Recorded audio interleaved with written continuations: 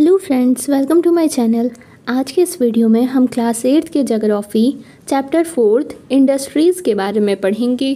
क्या आपने कभी ये सोचा है कि लिखने की जो कॉपी होती है, आप उसका इस्तेमाल में लाते हैं, वो विनिर्माण की लंबी प्रक्रिया के बाद आपके पास पहुँचती है?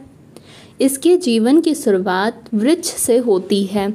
उसे काटा जाता है और लुगदी मील तक ले जाया जाता है। वहाँ वृक्षों की लकड़ी को संसाधित और कास्ट लुगदी में बदला जाता है। कास्ट लुगदी को रासायनिक द्रव के साथ मिलाया जाता है और अंततः मशीनों के द्वारा कागज़ के रूप में परिवर्तित किया जाता है। ये कागज़ प्रेस में जाता है, जहाँ रसायनों से निर्मित स्याही का इस्तेमाल पेज पर रेखाएँ छापने में किया जाता है।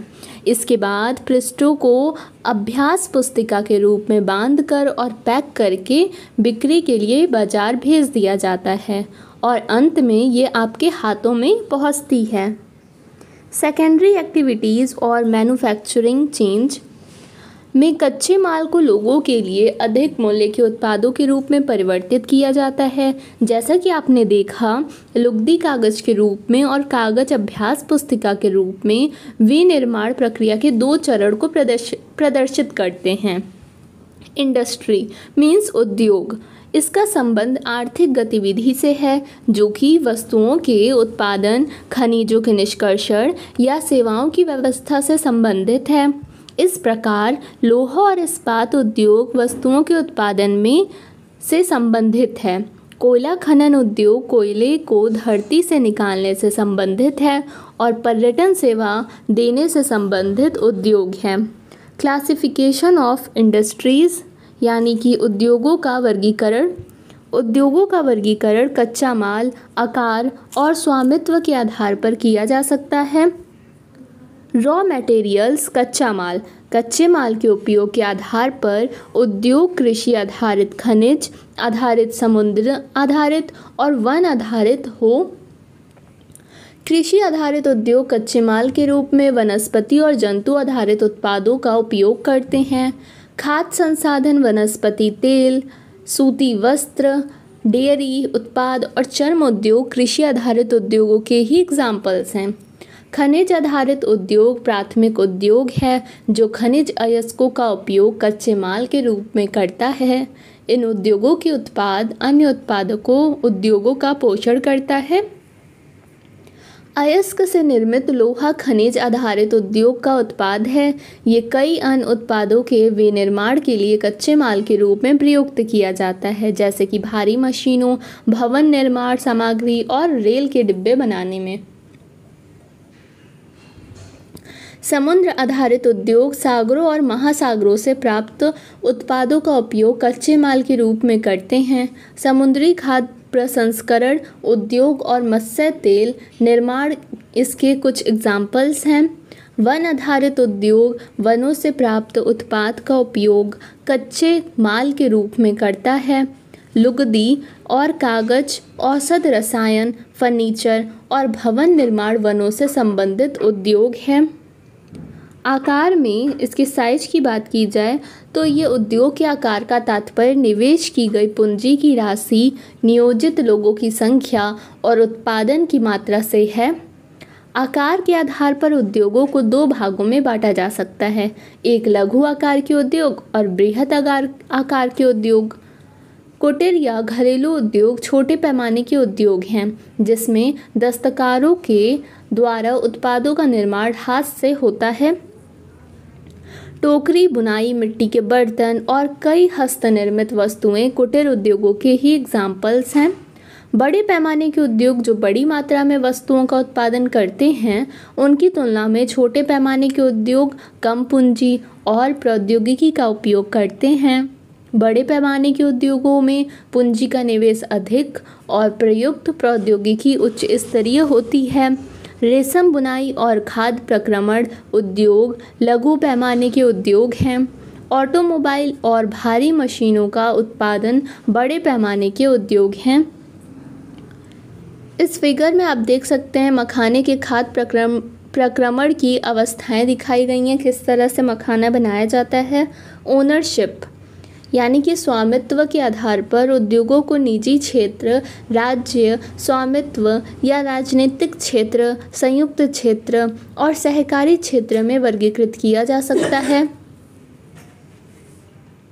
स्वामित्व और सार्वजनिक क्षेत्र के उद्योगों का स्वामित्व और संचालन सरकार द्वारा होता है, जैसे कि हिंदुस्तान एरोनॉटिक्स लिमिटेड और Steel Authority of India Limited संयुक्त संयुक्त क्षेत्र के उद्योगों का स्वामित्व और संचालन राज्यों और व्यक्तियों या व्यक्तियों के समूह द्वारा होता है। मारुति उद्योग लिमिटेड संयुक्त क्षेत्र के उद्योग का एक उदाहरण है।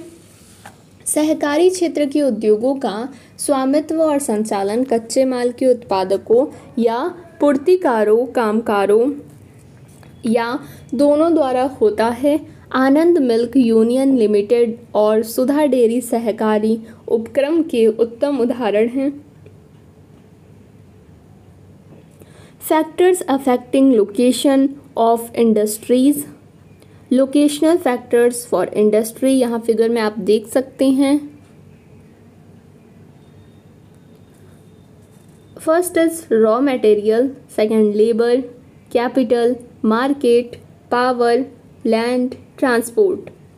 Factors affecting location of industries, वो कारक जो उद्योगों की अवस्थिति को प्रभावित करता है, कच्चे माल की उपलब्धता, भूमि, जल, श्रम, शक्ति, पूंजी, परिवहन और बाज़ार है। उद्योग उन्हीं स्थानों पर केंद्रित होते हैं, जहाँ इनमें से कुछ या वो सभी कारक आसानी से उपलब्ध होते हैं। कभी कभी सरकार कम दाम पर विद्युत उपलब्धता, कम परिवहन लागत और अन्य अवसंरचना जैसे प्रोत्साहन प्रदान करती है ताकि पिछड़े क्षेत्रों में भी उद्योग स्थापित किया जा सके। औद्योगिकीकरण से प्राय नगरों और शहरों का विकास और वृद्धि होती है। Industrial system. औद्योगिक तंत्र में निवेश, प्रक्रम और निर्गत शामिल है। निवेश में कच्चे माल, श्रम और भूमि की लागत, जल की उपलब्धता, परिवहन, विद्युत और अन्य अवसंरचना शामिल है। प्रक्रम में कई तरह के क्रियाकलाप शामिल हैं, जो कच्चे माल को परिष्कृत माल में परिवर्तित करते हैं। निर्गत अंतिम उत्पाद और उससे अर्जित आय है। सूती वस्त्र उद्योग के संदर्भ में कपास, मानव श्रम और कारखाना और परिवहन लागत निवेश हो सकता है। प्रक्रमों में ओटाई, कटाई, बुनाई, रंगाई और छपाई शामिल है। कमीज जिसे आप पहनते हैं, वो उत्पादन है। Industrial regions. औद्योगिक प्रदेश का विकास तब होता है जब कई तरह के उद्योग एक दूसरे के निकट स्थित होते हैं और वो अपनी निकटता के लाभ आपस में बांटते हैं। विश्व के प्रमुख औद्योगिक प्रदेश पूर्वोत्तर अमेरिका, पश्चिमी और मध्य यूरोप, पूर्वी यूरोप और पूर्वी एशिया है। मुख्य औद्योगिक प्रदेश अधिकांशतः शीतोष्ण कटिबंधीय क्षेत्रों, समुद्री पतनों के समीप और विशेष तौर पर कोयला क्षेत्र के निकट स्थित होते हैं। भारत में कई औद्योगिक प्रदेश हैं, जैसे कि मुंबई, पुणे, समूह, बंगलौर, तमिलनाडु प्रदेश, हुगली प्रदेश, अहमदाबाद, वडोदरा प्रदेश, छोटा नागपुर औद्योगिक प्रदेश, विशाखापट्टनम, गुंटूर औद्योगिक प्रदेश, गुड़गांव, दिल्ली, मेरठ औद्योगिक प्रदेश और कोल्लम, तिरुवनंतपुरम औद्योगिक प्रदेश। इंडस्ट्रियल डाइजेस्टर उद्योगों में दुर्घटना, विपदा, मुख्य रूप से तकनीकी विफलता या संकट उत्पन्न करने वाले पदार्थों के बेतरतीब उपयोग के कारण घटित होती है। भोपाल में तीन दिसंबर 1984 को लगभग तीन बजे अब तक की सबसे त्रासपूर्ण औद्योगिक दुर्घटना है। ये एक प्रौद्योगिकी दुर्घटना थी। इसमें यूनियन कार्बाइड के कीटनाशी कारखाने से हाइड्रोजन साइनाइड और प्रतिक्रियाशील उत्पादों के साथ साथ अत्यंत विषैली मिथाइल आइसोसोनाइट एमआईसी गैस का रिसाव हुआ था। 1989 में सरकारी सूचना के अनुसार 35,598 व्यक्तियों की मृत्यु हो गई थी। हज़ारों लोग जो बच गए, वो आज भी एक या अधिक बीमारी जैसे अंधापन, प्रतिरक्षा तंत्र विकृति, आंत्रशोध विकृतियों आदि से पीड़ित हैं। ये आप देख सकते हैं, ये राइट साइड में यूनियन कार्बाइड फैक्ट्री का फिगर।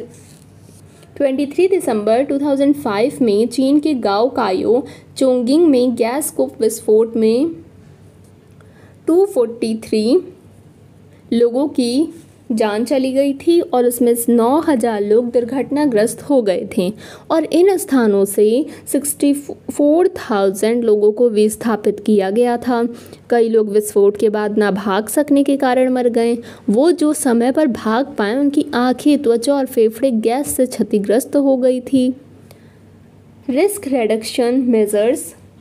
घने बसे आवासीय क्षेत्रों और औद्योगिक क्षेत्रों से अलग बहुत दूर रखा जाना चाहिए।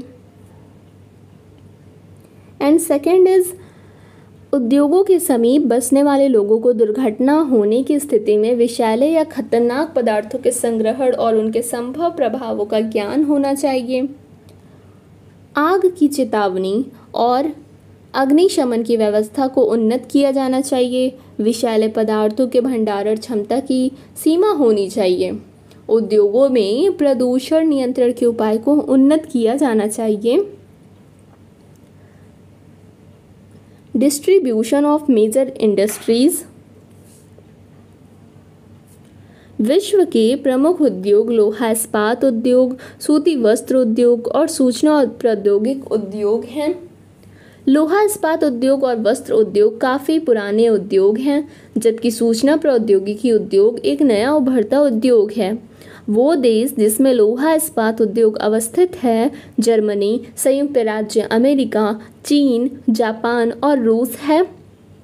वस्त्र उद्योग भारत, हांगकांग, दक्षिण कोरिया, जापान और ताइवान में संकेंद्रित है। सूचना प्रौद्योगिकी उद्योग के मुख्य केंद्र मध्यवर्ती कैलिफ़ोर्निया के सिलिकॉन घाटी में और भारत के बेंगलुरु प्रदेश में है। क्या आप जानते हैं उभरते हुए उद्योग सनराइज उद्योग के नाम से भी जाने जाते हैं? इसमें सूचना, प्रौद्योगिकी, स्वास्थ्य लाभ, सत्कार और ज्ञान से संबंधित उद्योग शामिल हैं। Iron and steel industry. अन्य उद्योगों की तरह लोहा इस्पात उद्योग में भी बहुत से निवेश, प्रक्रम और निर्गत शामिल हैं। ये एक उद्योग, पोषक उद्योग है, जिसके उत्पाद अन्य उद्योगों के लिए कच्चे माल के रूप में प्रयुक्त होते हैं। उद्योग के लिए निवेश में श्रम, पूंजी, स्थान और अन्य अवसंरचना के साथ साथ लौ अयस्क, कोयला और चूना पत्थर कच्चे माल के रूप में सम्मिलित हैं।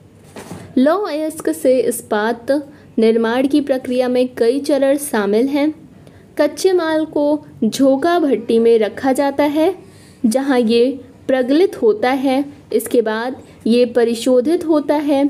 प्राप्त उत्पाद इस्पात होता है, जो अन्य उद्योगों में कच्चे माल के रूप में प्रयुक्त किया जा सकता है। इस्पात कड़ा होता है और इसे आसानी से काटा और आकार दिया जा सकता है। या इससे तार बनाए जा सकते हैं। एल्युमिनियम, निकल, तांबा और जैसी कई धातुओं को थोड़ी थोड़ी मात्रा में इस्पात में मिलाकर इसकी मिश्र धातुएँ बनाई जा सकती हैं। आप देख सकते हैं किस तरह से स्टील बनाई जाती है। फिगर के द्वारा बताया गया है। मिश्र धातु इस्पात को असामान्य कठोरता, दृढ़ता और जंग प्रतिरोधक क्षमता प्रदान करती है। इस्पात हमेशा आधुनिक उद्योग का मेरुदंड कहलाता है। लगभग सारी वस्तुएँ जिनका हम लोग उपभोग करते हैं, वो या तो लोहा या इस्पात से बना है, या इन धातुओं से निर्मित औजारों और मशीनों से बने हैं। रेलगाड़ी, ट्रक और ऑटो अधिकांशतः इस्पात से ही बने हैं। यहाँ तक कि सेफ्टी पिन और सुइयाँ, जिनका उपयोग आप करते हैं, वो भी इस्पात से बनी हैं। तेल कूप इस्पात से बनी मशीनों से बेधित किए जाते हैं। इस्पात की पाइपलाइन से तेल परिवहित किया जाता है। खनिजों का खनन इस्पात के उपकरणों से होता है। कृषि के यंत्र हमेशा इस्पात के बने होते हैं। विशाल भवनों का ढांचा इस्पात का बनाया जाता है। 1800 ईस्वी के पूर्व इस्पात उद्योग वहाँ स्थित थे, जहाँ कच्चा माल, विद्युत आपूर्ति और बेहतर जल आसानी से उपलब्ध थे। 1950 के बाद लोहा और इस्पात उद्योग समुद्र पतन के निकट सपाट भूमि के विशाल क्षेत्रों में केंद्रित होने शुरू हुए। ऐसा इसलिए हुआ क्योंकि इस्पात निर्माण का कार्य इस समय तक बहुत विशाल हो गया और लौ अयस्क विदेशों से आयात करना पड़ता था।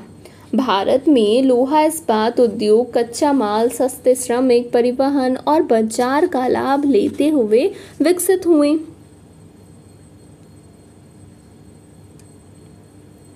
सभी महत्वपूर्ण इस्पात उत्पाद केंद्र जैसे भिलाई, दुर्गापुर, बनपुर जमशेदपुर, राउरकेला, बोकारो एक ही प्रदेश में स्थित हैं जो चारों राज्यों में फैले हैं। वो चार राज्य हैं, पश्चिम बंगाल, झारखंड उड़ीसा और छत्तीसगढ़।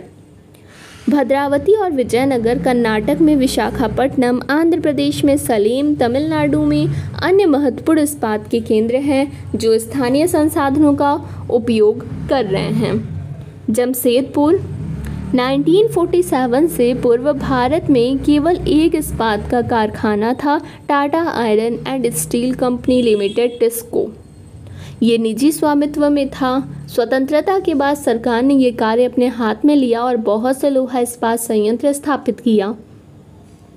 झारखंड में स्वर्ण रेखा और खरकई नदियों के संगम के समीप साक्षी में सन 1907 में टिस्को की शुरुआत की गई थी। बाद में साक्षी का नाम बदलकर जमशेदपुर रखा गया।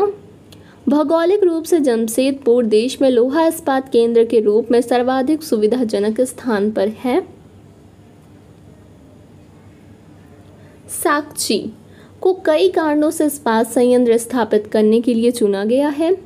ये स्थान बंगाल, नागपुर रेल मार्ग पर काली माटी स्टेशन से मात्र 32 किलोमीटर की दूरी पर था। ये स्थान लौ अयस्क, कोयला और मैग्नीज निक्षेपों के साथ साथ कोलकाता के निकट भी था। जहाँ विशाल बाज़ार उपलब्ध था, टिस्को को झरिया कोयला क्षेत्रों से कोयला और उड़ीसा और छत्तीसगढ़ से लौह अयस्क चूना पत्थर, डोलामाइट और उड़ीसा छत्तीसगढ़ से लौह अयस्क चूना पत्थर, डोलामाइट और मैग्नीज प्राप्त होता है। खरकई और स्वर्ण रेखा नदियों से पर्याप्त जल की आपूर्ति होती है। सरकारी प्रोत्साहनों से इसे पर्याप्त पूंजी उपलब्ध हुई। जमशेदपुर में टिस्को की स्थापना के बाद कई अन्य औद्योगिक संयंत्र स्थापित किए गए। इनमें से रसायन, इंजनों के पुर्जे, कृषि उपकरण, मशीनें, टीन की चादरें, केबल और तार का उत्पादन किया जाता है। भारत में लोहा इस्पात उद्योग के विकास में त्वरित औद्योगिक प्रकाश विकास शुरू हुआ। भारतीय उद्योग के लगभग सभी क्षेत्र अधिकांशतः अपने आधारभूत अवसंरचना के लिए लोहा इस्पात उद्योग पर निर्भर हैं। भारतीय लोहा इस्पात उद्योग में बृहद समाकलित इस्पात संयंत्रों के साथ साथ लघु इस्पात मिल भी सम्मिलित हैं। इसमें द्वितीयक उत्पादक रोलिंग मील और सहायक उद्योग भी शामिल हैं। क्या आप जानते हैं? ग्रेट लेक्स के नाम सुपीरियर हॉरियन ऑन्टोरियो मिशिगन और इरी है। इन पाँचों झीलों में सुपीरियर झील सबसे बड़ी है, जो अन्य की तुलना में उच्च ऊर्ध्व प्रवाह पर स्थित है। पिट्सबर्ग। ये संयुक्त राज्य अमेरिका का एक महत्वपूर्ण इस्पात नगर है। पिट्सबर्ग के इस्पात उद्योग को स्थानीय सुविधाएँ उपलब्ध हैं। कच्चा माल जैसे कोयला पिट्सबर्ग में ही उपलब्ध है, जबकि लॉ अयस्क मिनेसोटा की लोहे की खानों से प्राप्त होता है, जो पिट्सबर्ग से लगभग 1500 किलोमीटर दूर है। इन खानों और पिट्सबर्ग के बीच नौ परिवहन का सर्वोत्तम मार्ग ग्रेट लेक्स जलमार्ग आता है। ये अयस्क के नौ परिवहन हेतु सस्ता मार्ग है। ग्रेट लेक्स से पिट्सबर्ग क्षेत्र तक लॉ अयस्क रेलगाड़ियों से लाया जाता है। ओहियो, मोनोगहिला और एल्घनी नदियों से पर्याप्त जल प्राप्त होता है। आज पिट्सबर्ग में बहुत कम बड़ी इस्पात मिल है। ये मिल पिट्सबर्ग के ऊपर मोनोगहेला और एल्घनी नदी के घाटियों में और पिट्सबर्ग के नीचे ओहियो नदी के सहारे स्थित है। परिष्कृत इस्पात स्थल और जल दोनों मार्गों द्वारा बाज़ार में भेजा जाता है। पिट्सबर्ग क्षेत्र में इस्पात मिलों के अतिरिक्त कई अन्य कारखाने हैं। ये रेल रेल पटरी उपकरण और भारी मशीनों के उत्पादन में इस्पात का प्रयोग कच्चे माल के रूप में करते हैं।